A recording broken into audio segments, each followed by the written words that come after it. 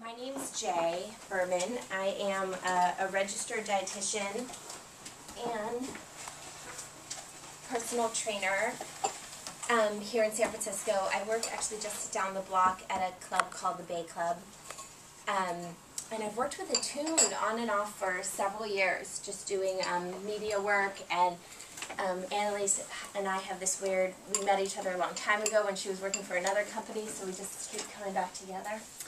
Um, but I just love so much what the company stands for and how it talks about getting, you know, developing a closer relationship with your food and really understanding like what you're putting in your body and how that can affect you. And from a nutrition standpoint, I obviously am obsessed with that. I just wanted to kind of bring up with breakfast is is that breakfast truly is the most important meal of the day, and many people um, don't eat that don't eat breakfast regularly. I have a hunch probably you all eat breakfast regularly, considering you're here at eight thirty on a Saturday for a breakfast happy hour. But um, the majority of people who come to meet me, you know, oftentimes their first meal is 12, 1, 2 p.m. And they do that for a few reasons. First of all, they wake up not hungry, and so they the idea of eating which maybe some of you can remember is kind of hard if any of you used to not be breakfast eaters. I know in high school I would it would make me sick to eat breakfast. Um, and also many people think that they're being good from a weight loss perspective like i'm going to save my calories until later you know so that i can you know eat more later and not waste those calories on a whatever in the morning when i'm not even hungry but that is absolutely the um, incorrect way of thinking from a weight loss perspective, but also from a physiological perspective. So the body will only, it's not just burn fat or lose weight, but also just live well. I mean, it really is the same concept if it thinks that it is not in trouble.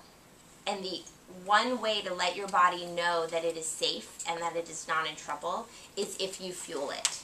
So if the body thinks that it's stressed, if the body thinks that there's a problem, it's going to hold on to every last thing it's got. So you could go from beautiful San Francisco, Transamerica building, for some of you who've never been to the ferry building, I mean, it's like truly heaven on earth. But you could be moseying around the ferry building today, and your body thinks it's starving in the desert and in serious trouble.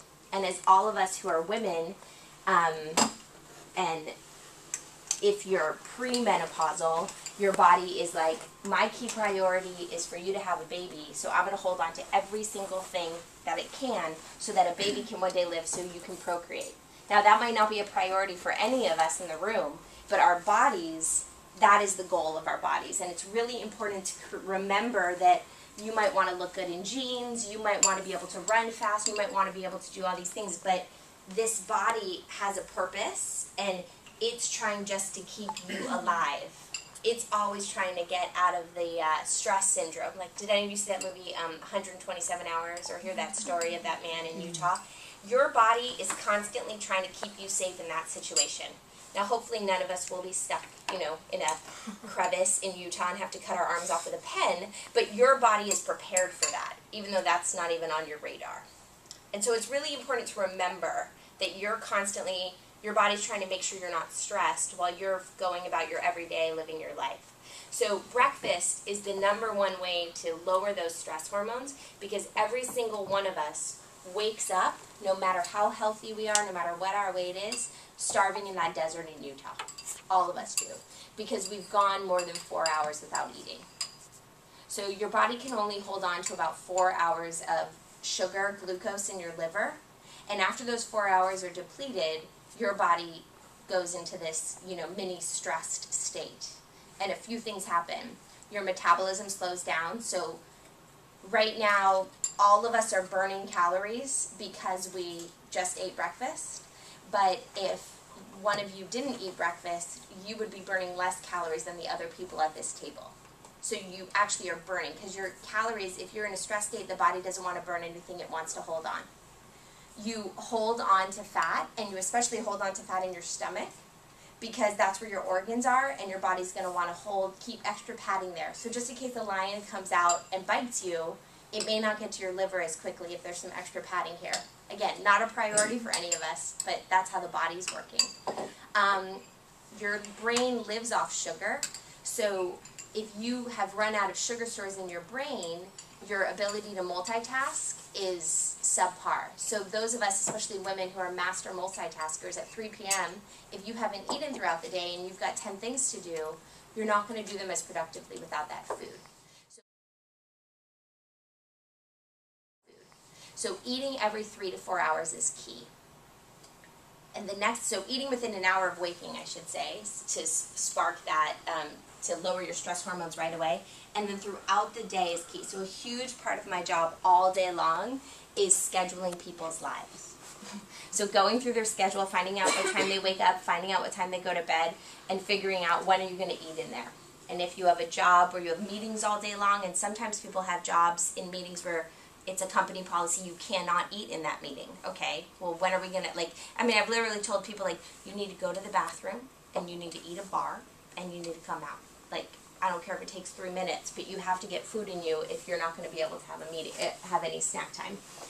Um, so getting the body in that state where the stress hormones can lower so the body can burn fat. And from a deeper level, it's quite an important thing that every three to four hours you check in with your body using food to say, everything's okay. We're good.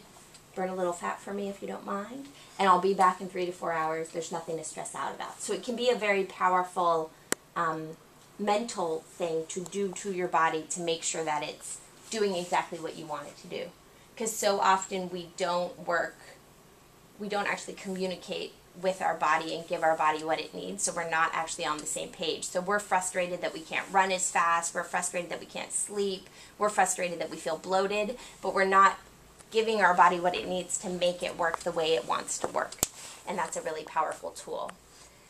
Um, so kind of from a scheduling standpoint, and this ties in with some of your questions, is eating within an hour of waking and then every three to four hours thereafter, and always trying to get on top of that.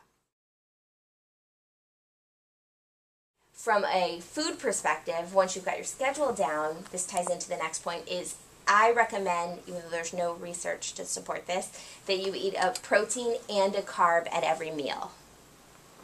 So um, that's that's where I kind of nitpick a little bit with my Weight Watchers clients, keeping with the points, but then making sure that it's not just about the points at the end of the day, but it's about how many pro percent protein you're eating within a day. And that's where a lot of people falter, right? So an apple for a snack, in my opinion, is not a snack. It has to be paired with peanut butter or low-fat cheese or deli turkey or nuts or whatever you want. But some sort of protein source so that there's a protein and a carb and it goes back to the same concept. You have to give your body everything it needs when you eat so that it's okay. Because if you just give it carbohydrate, sugar, the body says, thanks, my brain needs that, my liver needs that, my eyes need that. There's a lot that I can do with that sugar, but I have enzo enzymes I need to produce, I have hormones I need to produce, I have muscle I want to build, muscle I want to recover, that is proteins needed for that. So you always want to give your body these mini balanced meals. And in the American diet, we often fall short of that.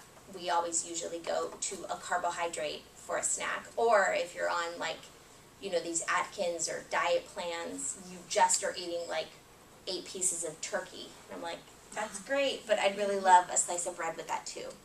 So that's where combining those mini balanced meals can really be effective.